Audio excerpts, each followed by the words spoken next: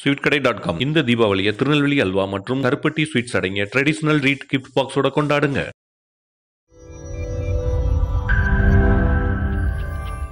MRP எனப்படும் மருத்துவ பணியாளர் தேர்வு வாரியத்தில் லஞ்சம் கொடுத்தால் பணி நிரந்தரம். விரும்பிய இடத்தில் போஸ்டிங் டிரான்ஸ்ஃபர் என நர்சிங் அசோசியேஷனே புரோக்கராக செயல்பட்டதை நக்கீரன் ஆடியோ ஆவணங்கள் மூலம் அம்பலப்படுத்தியதைத் தொடர்ந்து சிஎம் செக்யூரிட்டி ஆபீசர் செல்வத்தின் மனைவியும் யுனைடெட் எம்ஆர்பி நர்ஸ் அசோசியேஷனின் செயலாளருமான ஐஸ்வர்யாவின் மிரட்டல் ஆடியோக்களும் வெளியாகி மீண்டும் பரபரப்பை ஏற்படுத்தியுள்ளது. தன் புரோக்கரையே சிக்க வைத்த ஐஸ்வர்யா ஆண் நர்சுகளை பணி நிரந்தரம் செய்ய போவதாக கூறி ஐஸ்வர்யா மற்றும் ஒருங்கிணைப்பாளர் சசிகுமார் தலா நான்கு லட்சம் ரூபாய் என எட்டு கோடி ரூபாய் வசூல் செய்து கொண்டிருக்கிறார்கள் என்பதை பணம் கொடுத்த ஆண் நர்ஸ் முத்துக்குமாரின் ஆடியோ வாக்குமூலம் பணம் வசூலித்த ஸ்டாம்ப் பேப்பர் ஆவணம் வாட்ஸ்அப் குரூப்பில் வெளியிட்ட அறிவிப்புகள் மெசேஜ்கள் உள்ளிட்ட பிரத்யேக ஆதாரங்களுடன் ஆண் நர்சுகள் பணி நிரந்தரத்திற்கு எட்டு கோடி ரூபாய் லஞ்ச வேட்டை ஆடியோ ஆவணங்கள் அம்பலம் அதிர்ச்சியில் அமைச்சர் அலுவலகம் என்ற தலைப்பில் முதன் முதலில் அம்பலப்படுத்தியது நக்கீரன். இதனைத் தொடர்ந்து விரும்பிய இடத்தில் நர்சிங் போஸ்டிங் வாங்கி கொடுக்க போவதாக ஐஸ்வர்யா லஞ்ச பேரம் பேசும் ஆடியோ வாக்குமூலத்தை சிஎம் கிட்ட பேசிட்டாரு அமைச்சர். போஸ்டிங் போட ரெண்டு லட்சம் ரூபாய் லஞ்சம். சிஎம் செக்யூரிட்டி ஆபீசரின் மனைவி ஆடியோ அம்பலம் என்ற தலைப்பில் எக்ஸ்க்ளூசிவாக செய்தி வெளியிட்டோம். இந்த நிலையில்தான் தனக்கு லஞ்ச பணம் வசூலித்து கொடுக்கும் புரோக்கராக செயல்பட்ட கார்த்திக் என்பவரை சிக்க வைத்துவிட்டு ஐஸ்வர்யா தப்பித்துக் கொள்ள முயற்சித்து வருகிறார் என்று ஆடியோ ஆதாரங்களுடன் தகவல் வெளியாகி சுகாதாரத்துறை வட்டாரங்கள் மேலும் பரபரப்பை உண்டாக்கியிருக்கிறது. ஹலோ? ஹலோ? ஆ சார் கார்த்திக் சாருங்களா சார்? ஆமா சார் சொல்லுங்க. ஆ இல்ல அது உங்களுக்கு ஒரு ஃபார்வர்ட் மெசேஜ் வந்து பார்த்தேன் ஏதோ டிரான்ஸ்ஃபருக்கு அரேஞ்ச் பண்ணி தரீங்க கோவிடுக்குன்னு சொல்லிட்டு. ஆமா சார். அதுதான் சார் டீடைல் கேட்கலாம் அப்படின்ட்டு கால் பண்ணேங்க சார். எங்க சார் வேணும் உங்களுக்கு? எனக்குங்களாங்க சார் சேலங்க சார் சேலம் மெடிக்கல் காலேஜுங்களா ஆ ஆமாங்க சார் எயிட்டி தௌசண்ட் வரும் சார் எயிட்டி தௌசண்ட்ங்களா? சரிங்க சார் ஓகே ஓகேங்க சார் எவ்வளவு நாளுக்குள்ள வாங்கி தருவீங்க சார் மண்டே ஸ்டார்ட் பண்றாங்க. மண்டே கொடுத்தோம்னா நம்ம வெனஸ்டே கிடைச்சிரும். மண்டே சார் வெனஸ்டேக்குள்ள வாங்கிக்கலாங்களாங்க சார். சரி சரி ஓகேங்க சார் அதுதான் சரி டீடைல் கேட்கலாம் என்ன ஏதுன்னு சொல்லிட்டு. வேற என்ன ஏதாவது டாக்குமெண்ட்ஸ் கொடுக்கணுமா சார் டாக்குமெண்ட்ஸ் வந்து உங்க ஆர்டர் காப்பி வேணும் ஃபைவ் தௌசண்ட் அட்வான்ஸ் வேணும். பேலன்ஸ் அமௌண்ட் ஆர்டர் ரிசீவ் பண்ணதுக்கு அப்புறம் பே பண்ணா போதும். அப்படிங்களா? Okay sir okay sir okay sir அதான் கேட்டு நீங்க எங்க இருக்கீங்க சார் நீங்க அந்த ஒர்க் பண்றீங்களா இல்ல வெளியில நான் மெயில் நர்ஸ் தான் சார் நான் வந்து டூ தௌசண்ட் பிப்டீன் பேட்ச் ரெகுலரே கேளம்பாக்கம் இஎஸ்ஐ டிஸ்பென்சரியில் ஒர்க் பண்றேன். நம்ம வந்து Tamil Nadu united MRB nurses association ஒரு அசோசியேஷன் ரன் பண்ணிட்டு இருக்கோம். அதுல நிறைய இது மாதிரி பண்ணிட்டு இருக்கோம். அப்படிங்களா? சரிங்க சார். Okay okay. இல்ல வெளியில நிறைய பேர் இந்த மாதிரி சொல்றாங்க. அதான் கேக்குறேன். ஒர்க் பண்றவங்களா இருந்தா கொஞ்சம் பிரச்சனை இல்ல. அதுக்காக தான் சார். Okay sir. தேங்க்யூங்க சார். உங்க நீங்க எங்க ஒர்க் பண்றீங்க? நாங்களா sir. Stanley sir. Okay okay. Thank you okay thank you sorry. Sir thank you thank you என்று உரையாடல் ஆடியோ முடிகிறது. இந்த நிலையில்தான் கார்த்திக் மன்னிப்பு கேட்டு ஒரு ஆடியோவை வெளியிட்டுள்ளார். அந்த ஆடியோவை ஐஸ்வர்யாவும் நமக்கு அனுப்பினார். அந்த ஆடியோ வாக்குமூலத்தில் எல்லாருக்கும் வணக்கம். மன்னிப்பு கேட்கறதுக்காக இந்த ஆடியோ போடுறேன். இப்ப வெளியே வந்த டிரான்ஸ்ஃபர் ஆடியோல பேசியிருக்கிற மெயில் வாய்ஸ் என்னோட தான் ஆனா அதுல சொல்லியிருக்கிற எந்த விஷயமும் உண்மை இல்லை. நான் அரசு துறையில வேலையும் செய்யல. அந்த ஆடியோல என் கூட பேசியிருக்கவங்க Lalitha covid six month nurse Stanley ஹாஸ்பிட்டல்ல ஒர்க் பண்றாங்க சென்னையில. வளர்மதி அக்கா தான் அரசு நர்ஸ் சங்க நிர்வாகிகள் பதவி காலம் முடியறதுனால அடுத்த தேர்தல் ஐஸ்வர்யா நிக்கிறதுக்கு ஜெயிக்கிறதுக்கு வாய்ப்பு இருக்கிறதுனால அதை தடுக்கணுன்றதுக்காக இந்த மாதிரி அவங்களோட சங்கத்தோட நேம்ல ஒரு ஆடியோ ரெடி பண்ணி கொடுக்க சொன்னாங்க. அவங்க வேண்டுகோளுக்காக தான் இந்த மாதிரி ஒரு தவறை செஞ்சுட்டேன். எனக்கும் சுகாதாரத்துறைக்கும் எந்த சம்பந்தம் இல்லை. நான் அரசுக்கு எதிரானவனும் இல்லை. வளர்மதி அக்கா அவங்க கேட்டுக்கிட்டதாக தான் இதோட விவரம் புரியாம தெரியாம இந்த மாதிரி ஒரு ஆடியோ போட்டேன். இதற்காக மனசார எல்லாத்துக்கிட்டையும் மன்னிப்பு கேட்டுக்கிறேன். இந்த விளைவு இது இதோட விளைவு தெரியாம இந்த மாதிரி ஒரு தவறை செஞ்சுட்டேன். இனிமேல் இது போன்ற ஒரு பெண் சங்கத்தை தவறா சித்தரிக்கும் எந்த செயலையும் ஈடுபட மாட்டேன். தயவு செய்து என்னை மன்னிச்சிருங்க. இதோட சீரியஸ் சீரியஸ்னஸ் தெரியாம இந்த மாதிரி ஒரு ஆடியோ வந்து ரெடி பண்ணி போட்டேன். அதனால தயவுசெய்து என்னை மன்னிச்சிருங்க. நான் வந்து யாருக்கும் எந்த இதுக்கும் எதிரானும் கிடையாது. தயவுசெய்து மன்னிச்சிருங்க. நன்றி. இப்படியாக முடிகிறது புரோக்கர் கார்த்திக்கின் வாக்குமூல ஆடியோ. முதலில் ஐஸ்வர்யாவின் எம்ஆர்பி நர்ஸ் அசோசியேஷன் பெயரை பயன்படுத்தி பேரம் பேசிய கார்த்திக் தற்போது இப்படியொரு மன்னிப்பு ஆடியோவை வெளியிட்டதன் பின்னணி என்ன என்று நாம் விசாரித்தபோது சிஎம் செக்யூரிட்டி ஆபீசரின் செல்வத்தின் மனைவியும் யுனைடெட் எம்ஆர்பி நர்ஸ் அசோசியேஷனின் செயலாளருமான ஐஸ்வர்யாவிற்கு லஞ்ச பணம் வசூலித்து கொடுக்கும் நபர்தான் இந்த கார்த்திக். இவர் ஆடியோவில் குறிப்பிடுவது போல ஆண் நர்ஸாக எங்கும் பணிபுரியவில்லை என்பது உண்மைதான். ஆனால் தமிழ்நாடு நர்ஸ் அசோசியேஷன் செயலாளர் வளர்மதிதான் இப்படியொரு ஆடியோவை வெளியிடச் சொன்னார் என்று யுனைடெட் எம்ஆர்பி நர்ஸ் அசோசியேஷன் செயலாளர் ஐஸ்வர்யா மிரட்டியதால் தான் கார்த்திக் இப்படியொரு ஆடியோவை வெளியிட்டார் என்று திடுக்கிட வைத்திருக்கிறார். அது உண்மைதானா என்று நாம் விசாரித்த போது அதற்கான ஆதாரபூர்வமான ஆடியோ ஆதாரங்கள் கிடைத்தன என்னடா நினைச்சிட்டு இருக்க உன் மனசுல சரி இவன் நினைப்பா உனக்கு? நான் கேக்குறேன்? என்னை மாதிரி இருக்கா. இல்ல கேன மாதிரி இருக்கா? நீ ஏன் இப்படி கத்துற? எனக்கு புரியல. ஏன் முதல்ல வாய எப்படி ஒரு பிரார்த்தனை உனக்கு? என்ன பிரார்த்தனை இதுல? இதே அசோசியேஷன் பேரை வச்சு தானே ஜனவரியில வந்து நீங்க டிரான்ஸ்பர் டிரான்ஸ்பர் போட சொல்லி நீ உனக்கு தானே காசுக்காக நாக்க தொங்க போட்டுக்கிட்டு வருவேன் இன்னைக்கு உனக்கு பிரச்சனை பண்ணி விட்டுட்டு எனக்கு காசு நீ எவ்வளவு- எனக்கு- நீ காசு எவ்வளவு கொடுத்த? நீ சொன்ன? எதுக்கு நீ எனக்கு நீ கம்ப்ளைண்ட் பண்ணி உன்னை ஒரு வழி. பண்ணிட்டு விட்டுருவேன் பாத்தியா? எனக்கு காசு நீ? காசுக்காக காசுக்காகன்னு சொல்லாத எனக்கு நீ எவ்வளவு கொடுத்த அலையுற. காசு மட்டும் உனக்கு தேவை ஆனா உங்களுக்கு பிரச்சனைகள் எதுவும் வரக்கூடாது காசுக்காக அலையிறது நான் இல்லம்மா, நீதாம்மா. ஏம்மா என்னைய சொல்ற? இவ்வளவு ஆடியோ ரெக்கார்ட் பண்ணி போட்டுறதே வளர்மதிதான் அவங்களுக்கு எதுக்கு உன்னால ஆடியோ போட முடியாதான் என்னடா நினைச்சுக்கிட்டு இருக்க நீ காசுக்காக வேலை? நான் இல்ல. இங்க பாரு நான் இன்னைக்கு நான் சொல்றேன் பாத்துக்க நான் யாருக்கும் இப்படி சொல்லவே மாட்டேன். நீ வாழ்க்கையில ரொம்ப டார்ச்சர் பண்ணிட்ட நீ. இது உனக்கு கடைசி வார்னிங்க நான் சொல்றேன். இவ என்ன செய்ய போறான்னு நீ நினைச்சேன்னு வச்சுக்கிய நான் செஞ்சு காமிச்சு கொடுக்க மாட்டுக்க.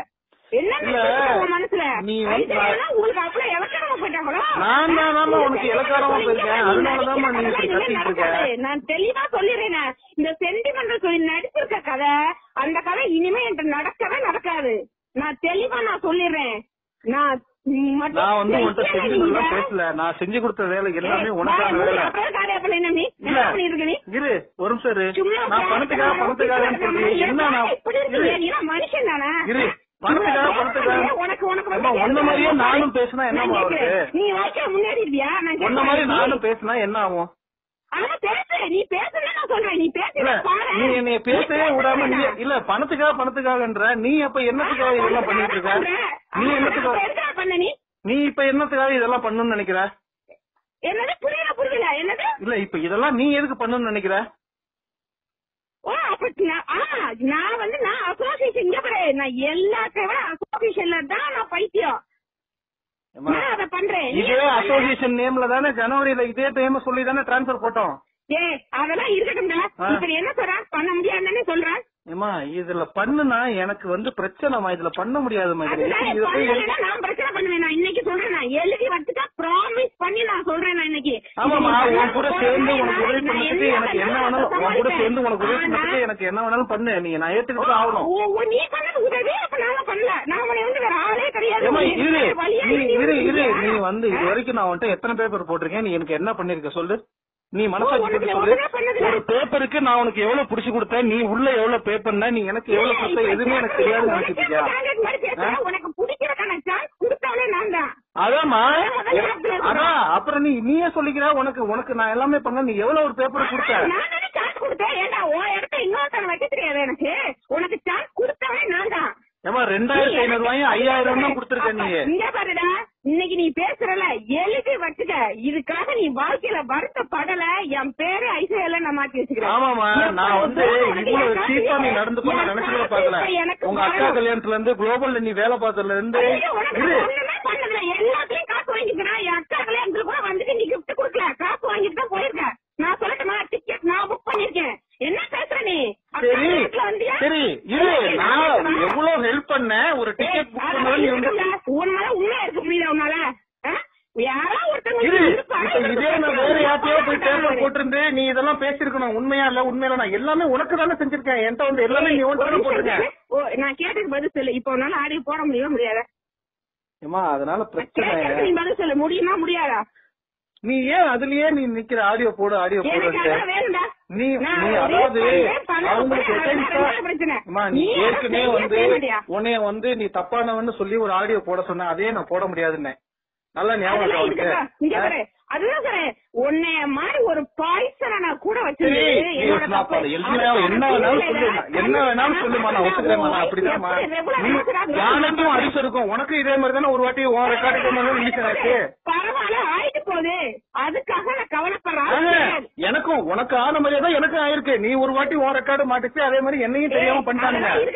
அதை சொல்றேன் நானு. அதெல்லாம் இங்க பாரு உனக்கு யார் செருக்குச்சு செருக்கல் எல்லாம் நான் கேட்கல இப்ப உன்னால இதை செய்ய முடியுமா? முடியாதா? நான் உனக்கு கொடுக்குறேன். உன்னால இதை செய்ய முடியுமா? முடியாதா? இந்த பிரச்சனை இப்படியே விட்டுனா இப்படியே அது சரியாயிடும் சரி பண்ணுவேன் என்னவா பண்ணுவேன்டா நான். எதையுமே விட மாட்டேன்டா. பண்ணுவேன்டா. ஆனா நீ போட முடியுமா? முடியாதாடா. என்னோட கேள்வி அதுதான். நீ வேற யாராவது பிளான் பண்ணுமா? என்னைய போய் ஏமா இதை பண்ண சொல்ற? இப்ப நீ இதை நீ செய்யலன்னு வச்சுக்க. நான் இன்னைக்கு ப்ராமிஸ் பண்ண சொல்றேன். உன் ஒய்ஃப் ரெகுலர் ஆக மாட்டா. அவ ஜாப்ல இருக்க மாட்டா. என்ன விரட்ட அவளை விரட்டுறங்கிறத உன் கண்ணு முன்னாடி நீ உன்னைய நான் உனக்கு- தொடவே மாட்டேன். உனக்கு ஏன் இவ்வளவு- உனக்கு ஏன் இவ்வளவு பழி வாங்குறேன்னு நான் கேக்குறேன். என் முன்னாடி பாரு. இரு, நீ செஞ்ச அத்தனை துரோகத்துக்கு நான் திருப்பி அடிப்பேன்டா. நான் உனக்கு துரோகம் பண்ணலையே ஏய் இப்ப நீ ஆடியோ போட முடியாதுல நீ போன வச்சிரு. இதுக்கு மேல உன்கிட்ட பேசுறதுக்கு எதுவுமே கிடையாது. நடுவுல எவனோ ஒருத்தன் நீ பேசுனதுனால இன்னைக்கு வந்து அது உனக்கு அந்த ஆடியோ ஏதாவது ப்ராப்ளம் இருக்கா எங்கயா நிக்கிறா? இந்த ஆடியோ எவ்வளவு அசோசியேஷன் வேற சொல்லி நீ. இவ்வளவு பண்ணிப்புட்டு ஆனா வந்து நீ ஆனா நீ எப்படி போனாலும் இவ்வளவு பாய்ச்சலா நீ. நான் வயிறு இறந்து சொல்றேன் நீ உருட்டுவியா நீ உருட்டுவியாடா சத்தியமா நீ உருப்பிட மாட்ட. நான் அன்னைக்கு நான் சொல்றேன் நான் வயிறு அறிஞ்சு நான் உனக்கு சொல்றேன் நீ உருப்படவே மாட்ட நீ நாசமா போகல நீ நாசமா போன அன்னைக்கு நான் போன் பண்ணி பேசுவேன் பாரு. சரிம்மா நீ இது வரைக்கும் நான் டிரான்ஸ்ஃபர்ல ஒரு நாற்பதாயிரம் ஐம்பதாயிரம் சம்பாதிச்சிருப்பேன்மா அவ்வளவுதானம்மா? பதினஞ்சு இருபது? பதினஞ்சு இருபது? சரி இன்னைக்கு இன்னைக்கு தானே நீ அசோசியேஷன்ல பெரிய ஆளு? குளோபல்ல இருந்த போது அசோசியேட் என்னது உங்க அக்கா கல்யாணத்த போதெல்லாம் நீ பெரிய ஆளா? நான் பெரிய ஆளா? பஸ்ல டிக்கெட் போட்டு கொடுத்தீங்க? பஸ்ல டிக்கெட் போட்டு கொடுத்தீங்க. கையில கூட காசு கொடுத்துட்டு நான் அனுப்பிச்சேன்? எனக்கு ஞாபகம் இருக்கு. சரிம்மா ஞாபகம் இருந்தா ரைட் ஓகே அதுதான் சொல்றேன். அப்ப இல்லடா நீ இல்லைன்னா இன்னொருத்தங்க வச்சு நான் அந்த வேலையை பாத்துட்டு தான் போறேன். இன்னைக்கு எழுதி வச்சுக்க. அதே ஸ்டேஷன்ல இருந்து தூக்கி வேற ஹில் ஸ்டேஷன்ல போட்டு அங்க இருந்து சஸ்பெண்ட் குடுக்க வச்சு ரெகுலர் ஆக விடாம பண்ணல. என் பேர் ஐசி நீ என்ன எங்க வேணாலும் நீ போடா. எங்க வேணாலும் போ. உனக்கு நான் அந்த இந்த பீரியட் ஏடிஎம்கே பீரியட் முடிக்கிறக்குள்ள அதை செஞ்சு ரெஸ்டார்ல ரெக்கார்ட் பண்ணி அடுத்து உள்ள வர முடியாத அளவுக்கு நான் பண்ணல. இப்ப சொல்றேன் கேளு. இல்ல இந்த ஜனவரில இருந்து ஜனவரில பிப்ரவரி மார்ச்ல இருந்து இது நாள் வரைக்கும் மெயில்னஸ் மேட்டர் இருந்து எல்லா மேட்டரும் நான் ரெக்கார்ட் பண்ணி தான் வச்சிருக்கேன். நான் அதை எங்க எடுத்துட்டு நீ போகணுமோ நான். போறேன். இங்க பாரு நீ மட்டும் இல்ல. சுபீர்ல இருந்து எவ்வளவு பேர் என்ன பண்ணுமா ரெக்கார்ட் பண்ணி வச்சிருக்காங்க பண்ணிட்டு ஒண்ணும் பண்ண முடியாம நீ நொட்டிட்டு இருக்காங்க. நீ என்ன வேணாலும் பண்ணு. நீ நூறு கம்ப்ளைண்ட் கொடு. ஆயிரம் போய் சிபிஐ போய் எங்க ஏதாவது செய்ய முடிஞ்சா நீ பண்ணிக்க. நீ ரெக்கார்ட் பண்ணி வச்சிருக்க வேணா நீ வெளியில விடு போ. இல்லன்னா இதை கூட ரெக்கார்ட் பண்ணி வெளியில விடு போ போன்ல நான் பண்ண மாட்டேன். ஆனா கண்டிப்பா நான் செய்வேன் நான் இத நான் ரொம்ப எதுவுமே. செய்ய வேணாம். ரெண்டு நிமிஷத்துல உனக்கு அந்த ரெக்கார்டு வரும். எனக்கு நீ நான் தெளிவா சொல்றேன். ரெக்கார்டு இல்லைன்னா நான் தூக்கணும் அவங்க ஒய்ஃப கண்டிப்பா தூக்குவேன் ஹில் ஸ்டேஷனை உடனே ரிலீவிங் யாரும் கொடுக்க வப்ப ரிலீவும் ஆக சொல்லுவேன். பாத்துக்கிட்டே இரு. என்று கார்த்திக்கை ஐஸ்வர்யா மிரட்டுவதோடு ஒரு உரையாடல் ஆடியோ முடிகிறது. பிறகு மீண்டும் இன்னொரு உரையாடலில் ஒரே ஒரு விஷயம் புரியல இப்ப என்ன நீ ஆடியோ ரெடி பண்ண மாட்டா அப்படியா அம்மா எனக்கு ரொம்ப பயமா இருக்குமா இது. இல்ல அப்ப என்ன என்ன செய்யணும் இது இப்படியே போச்சுன்னா உன் ஒய்ஃபுக்கு வேலைக்கு ரொம்ப ரொம்ப ப்ராப்ளம் நான் சொல்லிட்டேன். புரிஞ்சுக்க. என்னோட ஆடியோ நூறு வந்தாலும் சமாளிக்க என்னால முடியும்.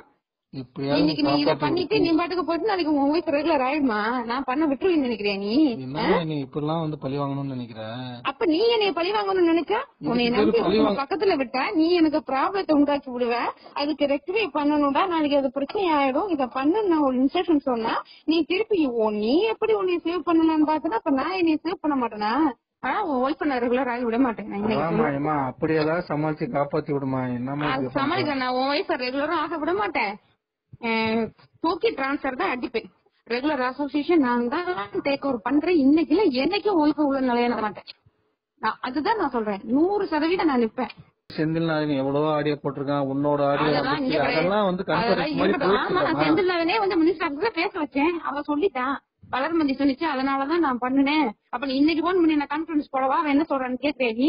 அப்ப பெரிய பொசிஷன்ல இருந்து அவங்களுக்கு அது மாதிரி ஓடி போயிருவேன் எங்களுக்கு ஓடலன்னு சொல்லல மறுபடியும் பாரு நீ ஏன் ஒன்னு அசம்ஷன் பண்ணிக்கிற? நான் அப்படி சொல்லல. அண்ணா எதுக்கு அப்ப இந்த ஆர்குமெண்ட் நீ ஆடியோ போட ரெடி தான். ஆடியோ ரெடி பண்ணி அதுக்கப்புறம் அத- எனக்கு பண்ணிட்டு எனக்கு வந்து அந்த பயத்தை போக்குற மாதிரி நீ ஏதாவது பேசாம உனக்கு அசூரன்ஸ் தரேன் நான் ஃபர்ஸ்ட் வார்த்தையே நான் சொல்லிட்டேன். அந்த ஆடியோ போட்டாலும் வளர்மதி என்னையே தான் டைரக்டா பிரச்சனை பண்ணும். பிரச்சனையை நான் பாத்துக்கிறேன் ஃபர்ஸ்ட் வார்த்தையே நான் சொல்லிட்டேன். சும்மா அசூரன்ஸ் தரேன் அது தலை இது தலைங்கிற வேலையெல்லாம் நீ பேசாத அசுரன் தரேன்னு சொல்லமா எனக்கு நான் தான் சொல்றேன்ல ரொம்ப பயமா இருக்கு. அந்த பயத்தை போக்குற மாதிரி பேசுனா என்ன சொல்லணும் பயத்தை போக்குறது இருக்கேன். பிரச்சனையை நான் பாத்துக்கிறேன்னு சொல்லிட்டேன். இதுக்கு மேல உனக்கு என்ன சொல்லணும்? அதான் அவங்க எல்லாம் பெரிய டீம் வேற அதான் அதுதான் சார் அப்ப உங்களுக்கு எல்லாம் அவங்க எல்லாம் பெரிய டீம் அப்ப நாங்களும் உங்களுக்கு புள்ள பூச்சியா? என்னதான் பார்த்தா அவ்வளவு நக்கலா இருக்கா உனக்கு? இந்த தெரிஞ்சுல நீ என்ன நினைச்சுக்கிட்டு இருக்கங்கிறது? அவங்களாம் பெரிய டீம் பெரிய நெட்வொர்க் நாங்களாம் என்ன சப்பையா?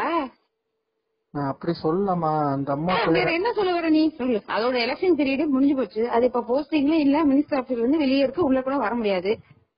சோசியல் மீடியா அது இது இருக்கு. உள்ள எல்லாத்தையும் கிளப்பி கொண்டு எலெக்ஷன் டைம்ல நிக்க வச்சு மினிஸ்டர் செக்ரட்டரி அழிஞ்சு தெரிஞ்சேன் காலையில இருந்து. எனக்கு எவ்வளவு இது இருக்கும்? ப்ரெஷர் இருக்கும்.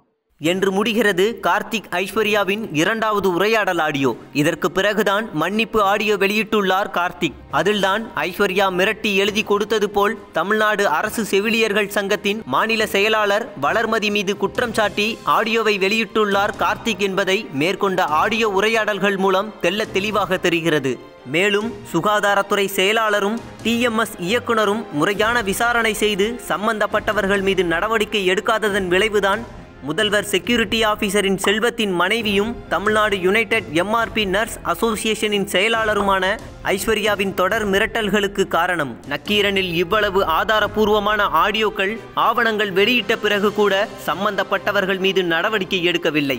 மேலும் எம்ஆர்பி எனப்படும் மருத்துவ பணியாளர் தேர்வு வாரிய அதிகாரிகள் யார் யாரெல்லாம் இவர்களிடம் லஞ்சம் வாங்கிக் கொண்டு செயல்படுகிறார்கள் என்ற விசாரணையை நடத்தினால்தான் எம்ஆர்பியில் லஞ்சம் விளையாடுவது தடுத்து நிறுத்தப்பட்டு அரசு மருத்துவமனைகளில் ஏழை எளிய மக்களுக்கு சரியான சிகிச்சை சேவைகள் கிடைக்கும்.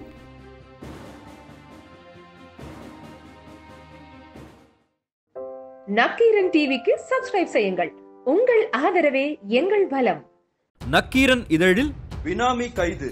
அமைச்சரை புதைத்த இடத்தில் குடும்ப சண்டை. மரணமடைந்த மந்திரியிடம் சிக்கிய பணம் எழவு வீட்டில் தொடரும் மிரட்டல். அமைச்சரை மாஜியுடன் மோத விடுவாரா எடப்பாடி? தமிழ் ஊடகத்துக்கு மூடு விழா. சர்ச்சையில் லயோலா கல்லூரி. சிக்ஸரா விக்கெட்டா? கதி கலங்கும் கடம்பூர் ராஜு. தியேட்டர் பட்டாசு. ஓடிடி மத்தாப்பு. களைகட்டும் சினிமா தீபாவளி.